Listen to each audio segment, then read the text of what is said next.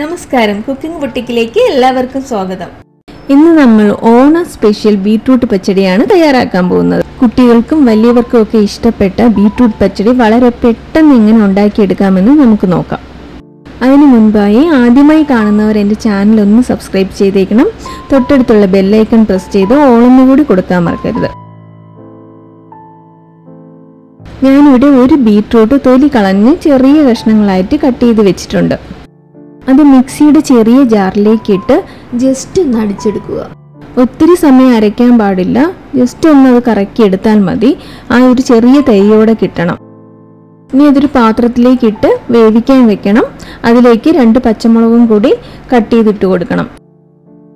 പച്ചമുളക് ചെറുതായിട്ട് വേണമെങ്കിലും കട്ട് ചെയ്തിടാം. ഞാനിവിടെ കുട്ടികൾക്കൊക്കെ എരിവധികം ഇഷ്ടമല്ലാത്തത് കൊണ്ട് പെട്ടെന്ന് കാണാൻ തിരിച്ചറിയാൻ വേണ്ടിയിട്ടാണ് ഞാനിവിടെ ഇത്രയും വലുതായിട്ട് കട്ട് ചെയ്തിട്ടിരിക്കുന്നത്. ഇനി ഒരു ചെറിയ കപ്പ് വെള്ളവും കൂടെ ചേർത്ത് അടച്ചു വെച്ച് വേവിക്കണം. ഇത് വേകുന്ന സമയം കൊണ്ട് നമുക്ക് ഇതിലേക്ക് വേണ്ട അരപ്പ് തയ്യാറാക്കി എടുക്കാം.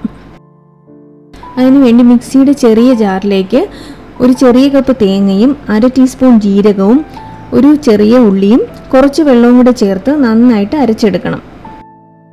ഇനി അരപ്പിലേക്ക് കാൽ ടീസ്പൂൺ കടുക് ചേർത്ത് കൊടുക്കണം. അതിനുശേഷം വീണ്ടും ഒന്ന് അരച്ചെടുക്കണം. കടുക് ഏറ്റവും ലാസ്റ്റ് ചേർത്താൽ മതി. കാരണം കടുക് നന്നായി അരഞ്ഞു പോകേണ്ട ആവശ്യമില്ല. ഒന്ന് ചതഞ്ഞ് കിട്ടുമ്പോൾ മാത്രമാണ് അതിന്റെ മണം നന്നായിട്ട് നമുക്ക് കറിയിൽ കിട്ടുന്നത്. ഇനി അരപ്പ് നമ്മൾ വേവിച്ച് വെച്ചിരിക്കുന്ന ബീട്രൂട്ടിലോട്ട് ചേർത്ത് കൊടുക്കണം. ബീട്രൂട്ട് ഇപ്പോൾ നന്നായിട്ട് വെന്ത് കിട്ടിയിട്ടുണ്ട്. ആദ്യം ഒന്ന് ഉപ്പിട്ട ശേഷമാണ് അരപ്പ് ചേർത്ത് കൊടുക്കേണ്ടത്. നമ്മൾ ബീട്രൂട്ട് വേവിക്കാൻ വെച്ച സമയത്ത് ഉപ്പ് ചേർത്തിട്ടില്ല. അത് നന്നായിട്ട് വെന്തതിന് ശേഷം മാത്രമാണ് ഉപ്പ് ചേർത്തിട്ടുള്ളത്. അരപ്പ് ബീട്രൂട്ടിൽ ചേർത്ത് നന്നായി ഇളക്കി കൊടുക്കണം. അരപ്പിന്റെ പച്ചമണമൊക്കെ മാറുന്നത് വരെ ഇളക്കി കൊടുത്തുകൊണ്ടിരിക്കണം. ഇതിങ്ങനെ തിളച്ച് പതഞ്ഞു വരാൻ പാടില്ല. നമ്മൾ ഇളക്കി കൊടുത്തുകൊണ്ടേയിരിക്കണം. അരപ്പ് നന്നായി ചൂടായിട്ടുണ്ട്. ഇനി നമ്മൾ സ്റ്റവ് ഓഫ് ചെയ്യണം. അതിനുശേഷം ഒരു കപ്പ് തൈരെടുത്ത് അതിലെ കട്ടയൊക്കെ മാറി കിട്ടാൻ വേണ്ടി നമ്മളൊന്ന് അടിച്ചെടുക്കണം. ഈ തൈരും കൂടി നമ്മൾ അരപ്പിലേക്ക് ചേർത്ത് നല്ലതുപോലെ ഒന്ന് ഇളക്കണം. ഇനി സ്റ്റൗ ഓൺ ചെയ്യണം. അതിനുശേഷം ഈ തൈര് ചെറുതായി ഒന്ന് ചൂടാക്കി എടുക്കണം. ലോ ഫ്ലെയിമിലാണ് വെക്കേണ്ടത്.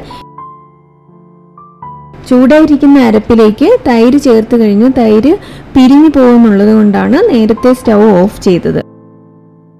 തൈര് ചെറുതായി ചൂടായിട്ടുണ്ട്. ചെറിയ ചൂട് മതിയാവും. ഇനി നമുക്ക് സ്റ്റൗ ഓഫ് ചെയ്യാം.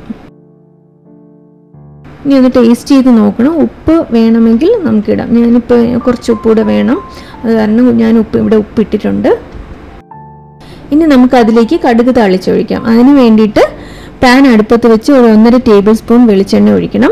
അതിലേക്ക് കടുക് ഇട്ട് കൊടുക്കണം. ഒരു അര ടീസ്പൂൺ കടുകാണ് ഇട്ടിരിക്കുന്നത്. അതൊന്ന് പൊട്ടി വരുമ്പോൾ കുറച്ച് ചെറിയ ഉള്ളിയും രണ്ട് ഉണക്കമുളകും കുറച്ച് കറിവേപ്പിലയും കൂടെ ഇട്ട് അതൊന്ന് ബ്രൗൺ കളറായി വരുമ്പോൾ നമ്മളത് പച്ചടിയിലേക്ക് ഒഴിച്ചു കൊടുക്കണം. അതിനുശേഷം ഒരു രണ്ട് മൂന്ന് മിനിറ്റ് ഒന്ന് അടച്ചു വെക്കണം. അതിനുശേഷമേ എന്റെ മൂടി മാറ്റാവൂ. അപ്പോഴാണ് നമ്മൾ താളിച്ചതിന്റെ മണമൊക്കെ ആ പച്ചടിയിലിറങ്ങി നല്ല ടേസ്റ്റ് വരുന്നത്.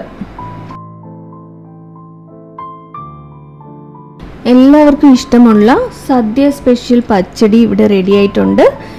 ഇത് കറക്റ്റ് കൺസിസ്റ്റൻസിയിലാണ് കിട്ടിയിരിക്കുന്നത്. വീഡിയോ ഇഷ്ടമായെങ്കിൽ എല്ലാവർക്കും ഷെയർ ചെയ്യണം. സബ്സ്ക്രൈബ് ചെയ്യാനും മറക്കരുത്.